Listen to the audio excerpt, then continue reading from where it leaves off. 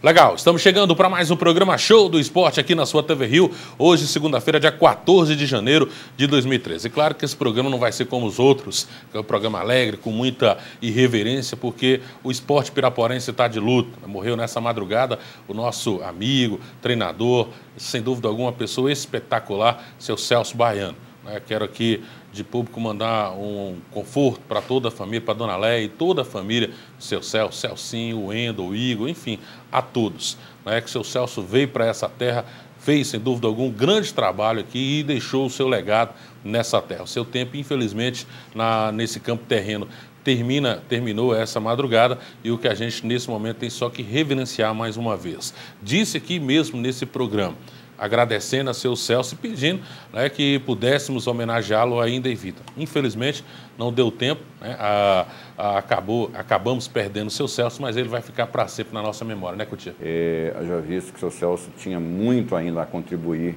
com o futebol de Pirapora. Ele que foi atleta, eu lembro quando ele chegou aqui de Juazeiro, veio para Pirapora jogar na Liasa, um excepcional médio volante, fino da bola, depois encerrou sua carreira e dedicou né, o que ele mais gostava, né, que era estar é, tá lidando com essa garotada, né, essa faixa etária aí de, de 10, 14, 15 anos. Então, é, é triste, lamentável, né, realmente ele não conseguiu driblar né, a doença que foi cometido. Então, eu quero aqui deixar também, Rogério, é, as nossas condolências a toda a família, principalmente ao Celcinho, Wendel, e pedir a Deus né, que dê conforto a eles para superar esse momento difícil. Lamentável porque seu Celso foi prematuramente e tinha muito a que contribuir ainda para o futebol de Pirapora. E o Simval, nós podemos falar isso de perto, né, Simval? Foi nosso treinador no Clube do Remo, né? além de ser uma pessoa que exigia muito na parte técnica, também exigia muito na parte física, né? É, Primeiro mandar um abraço né, para o Celcinho, para o Wendel, para o Legão, para os meninos. Nós ficamos muito tristes por causa disso perdemos como é que fala, um amigo. Igual você falou, o seu Celso foi treinador nosso no Remo, aprender muita coisa com ele.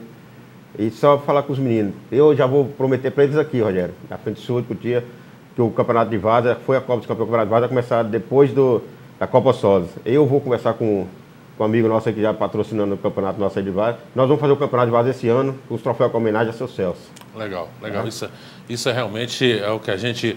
É, eu sempre falo aqui com as pessoas, sempre homenagear elas em vida, mas se não deu tempo, a gente homenageia ela de alguma forma. Edilson, vem aí o torneio de férias de futsal. Fala pra gente sobre essa, vamos dizer assim, primeira iniciativa dessa nova Secretaria de Esportes. Então, Rogério, é, a gente, em conversa na última sexta-feira com o secretário Esmeraldo Pereira, né, é, temos passando essa ideia para ele a ideia nossa inicialmente era fazer isso até depois do carnaval, né? Porque está tudo agora voltado para o carnaval. Esse ano o carnaval, inclusive, é na primeira, no início de fevereiro.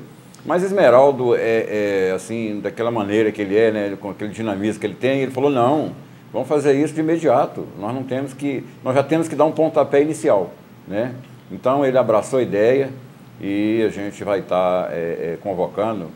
É, agora à tarde nós vamos estar tá, é, entrando em contato com as equipes eu já está marcando a reunião na secretaria. E o início, conforme desejo do secretário Esmeraldo Pereira, já é fazer isso, é, o, o, o, início na próxima segunda-feira, aí envolvendo aí, Rogério, é, as oito equipes melhores colocadas no campeonato de 2012, né?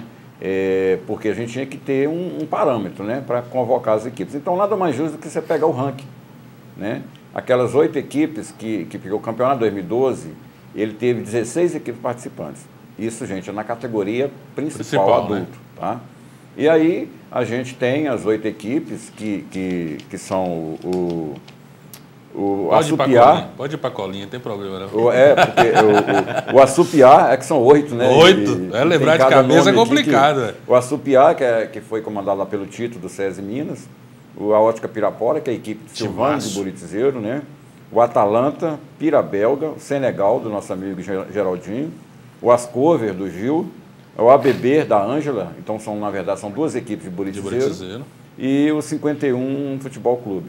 Então são essas oito, oito equipes que vão ser convidadas, tá? Para a gente estar tá dando aí o pontapé na, na, no segmento futsal em Pirapora. Né? Isso é simplesmente É um torneio pequeno, rápido, mas nós já vamos estar dando a nova cara aí de acordo com o que quer o novo secretário de esportes de Pirapora, o vice-prefeito e secretário Esmeraldo Pereira. Edilson, é, fórmula de disputa, início de campeonato, isso tudo vai ser discutido no, no Congresso Técnico? É, não, mas é, como é uma, um, um, tiro curto, Rogério, a gente já tem mais ou menos o traçado, o né? Isso vão ser duas chaves de quatro, né? E a gente pega campeão, vice, é, segundo, terceiro, quarto, quinto, sexto, é, é, é, é até o oitavo, né? Divide, uhum. né? Então, e aí classifica-se dois de cada chave, o primeiro de uma chave contra o segundo de outro, faz o semifinal e sai os dois finalistas. A intenção nossa, isso aí vai depender da reunião com, com os clubes, é já começar na segunda-feira que vem, no dia 21. Pós-esportivo? Ginásio Poliesportivo de Pirapora. É, legal. E, e, eu quero aqui mandar um grande abraço a Esmeralda, o Edilson, ninguém melhor do que eu, pode falar. Que vontade que ele está, né, Edilson? Que vontade de, de, de, fazer as coisas, né? Já vai no poliesportivo, vai num lugar, vai no outro. Realmente o dinamismo como presidente da Câmara, como vereador, está trazendo agora para a Secretaria de Esporte, né? É, ele, ele até é, mandou te pedir desculpas, Rogério, porque ele viria também, mas ele está é, assumindo a secretaria, né? Tá, é, ontem, por exemplo, nós estivemos lá fazendo uma série de mudanças lá de, de imóveis, então está é, uma correria muito grande, mas ele é, pediu para te falar que na primeira oportunidade ele vai estar aqui no seu programa, tá? É, para estar anunciando aí as boas novas, né? E realmente é uma pessoa, é por isso que é vencedor, né? É, com a, a garra que tem, a vontade que tem, e realmente nos contagiou, porque está com muita vontade, está né? Tá com um espírito de fazer muita coisa para estar tá aí resgatando o esporte em Pirapora. Legal, vamos falar então agora do campeonato de Várzea que terminou a Copa dos Campeões ontem com o jogo entre Esparta e Itaguatinga. O Esparta acabou vencendo o campeonato nos pênaltis. O Simval vai dar uma de comentarista aqui, vai falar para a gente como é que foi. Primeiro, parabéns pelo, pelo, pelo torneio, pela competição, muito bem organizada e que chegou ao seu final ontem. E o jogo de ontem, como é que foi? Rogério, primeiramente, obrigado, né? o...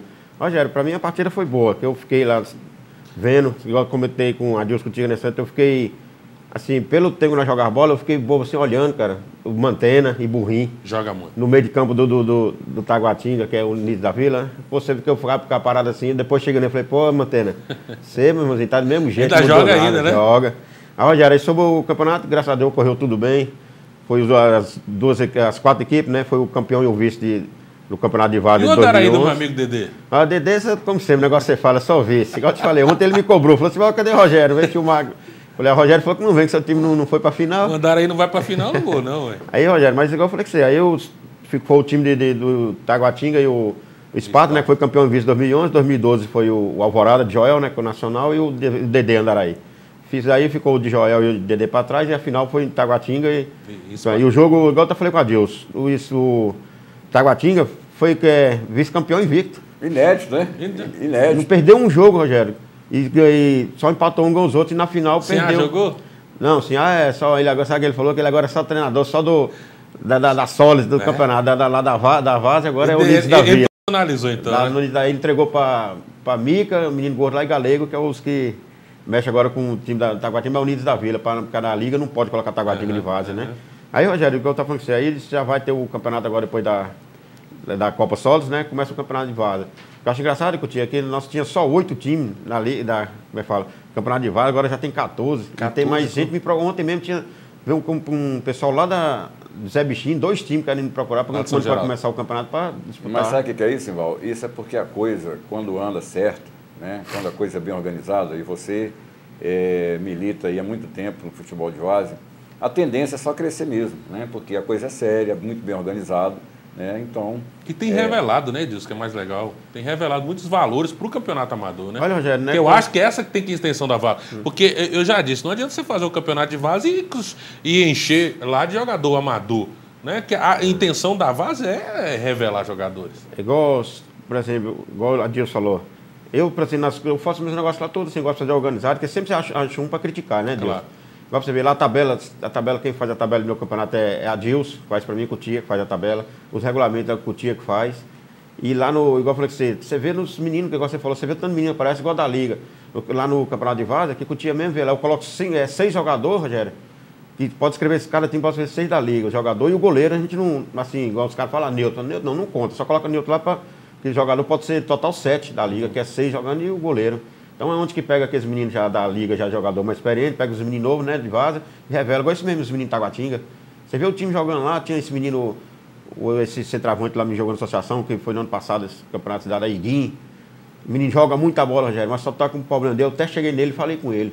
Com o tia, falei, Guinho, se o problema é seu, é muito, tia, o negócio desse é muita confusão, Rogério. Ele, tá. ele, jogou no Taguatinga nessa Copa dos Campeões, Coutinho, três, é, quatro, é, Taguatinga jogou três jogos com a final quatro. Ele jogou só dois jogos, outros dois jogos suspensos. Aí não pode, né? Ontem mesmo os meninos do, do Taguatinga, Coutinho, tirou ele do jogo. Ele começou lá um jogo tão bom, nem nada, ele arrumando briga. Os caras tiraram ele para poder. Senão ia prejudicar. Senão ia prejudicar o Taguatinga. Né? Ia ser expulso, ia prejudicar Você vê, igual então... eu comentei, acabei de comentar com vocês dois, a experiência do cara igual a Mantena. Mantendo burrinho, na hora que o Gui começou a arrumar confusão lá com, com o Marconi, Marconi zagueiro vai experiente. Claro. Aí tem uma hora que o Marconi chegou nele, ele começou, ele foi chutou o Marconi sem bola, tinha um, tinha um garrote que tava habitando, não expulsou. Aí Mantena chegou nele, galei, os meninos chegou, burrinho, Mantena, ó, tira ele lá, que esse menino vai arrumar problema, tá confusão. Tiraram ele, o jogo acabou normal, os meninos foram lá para os pênaltis, o Taguatinho foi, o Esparta foi campeão, não deu problema nenhum. É, isso é muito ruim, né, Edilson? Então, mas para quem está começando, né? Igual ele, né? É, ele, mas ele, bom, ele, ele, é bom. Ele tem certeza, porque eu conheço o Ilha, o Sinhá, o pessoal do Taguatinga, e eles vão colocar ele no, no eixo. Jeito. Ou ele muda, ou ele não vai continuar na equipe. Porque mesmo sendo um excelente jogador, é, tecnicamente, né? Mas a cabeça também tem que funcionar, né? É então, com certeza eles vão fazer um trabalho em cima desse menino para que ele é, realmente mostre o que ele tem de bom. Que é, o, que é o que ele sabe fazer, que é jogar futebol. É, ele joga. Legal, ele joga jogar futebol, ele joga muito. Eu vou um rápido intervalo e na volta a gente vem destacando o Campeonato Quarentão, que aconteceu o ano passado, e também sabendo do Edilson como que está a preparação para esse ano. Já já estou de volta.